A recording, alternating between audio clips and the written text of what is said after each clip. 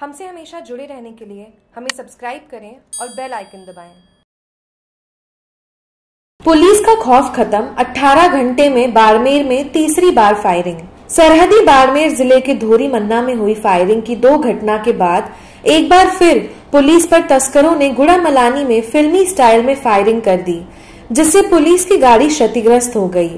घटना के बाद कस्बे में अफरा तफरी मच, बाज़ार में जाम की स्थिति पैदा हो गई। पुलिस जवानों को तस्करों का पीछा करने के लिए बाइक का सहारा लेना पड़ा। अभी भी कस्बे के रास्ते जाम हैं। तीसरी बार हुई फायरिंग की घटनाओं के बाद पुलिस की कार्यशैली पर सवाल खड़े हो रहे हैं तो आम जन में भय का माहौल है। ज्ञात रहे कि बीती रात 10 बजे तस्करी की आपसी रंजिश के चलते फायरिंग हुई थी, जिसमें एक व्यक्ति गंभीर तरह से घायल हो गया।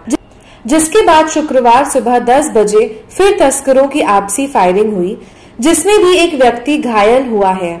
दोनों घायलों का इलाज अलग अलग अस्पतालों में चल रहा है।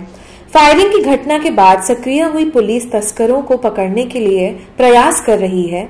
इसी दौरान गुड़ा मलानी कस्बे में तस्करों ने पुलिस पर भी फायर किया। जिससे पुलिस की गाड़ी क्षतिग्रस्त हो गई।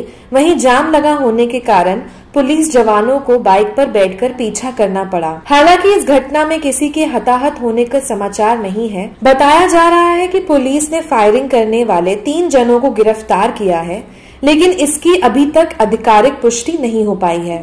बाड़मेर ज़िले के गुड़ामलानी से जागरूक टीवी की रिपोर्ट।